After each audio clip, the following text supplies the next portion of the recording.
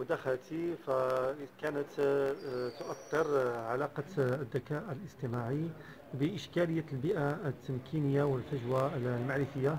على اعتبار أننا في دول العالم النامي نئن إلى مجموعة من الاختلالات المرتبطة بهذه الفجوة المعرفية. فإن هذا من جهة. وأيضا على مستوى البيئة التمكينية فلازلنا أمام تحدي امتلاك هذه التقنية سواء على مستوى على مستوى توفير هذه التقنية واستخدامها وأيضا كرهان هو تطوير هذه التقنية.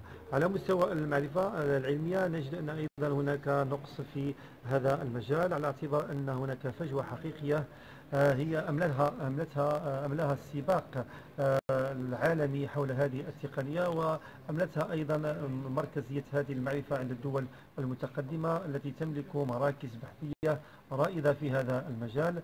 المغرب بحاجة أيضا إلى مواكبة هذه التقنية على مستوى التحصيل الأكاديمي المعرفي في هذا المجال وأيضا على مستوى التمكين الرقمي واللوجستيكي لتدارك مثل تدارك أولا هذا النقص ومن ثم استخدام وتوظيف أمثل لهذه التقنية وتحديدا تقنية الذكاء الاصطناعي.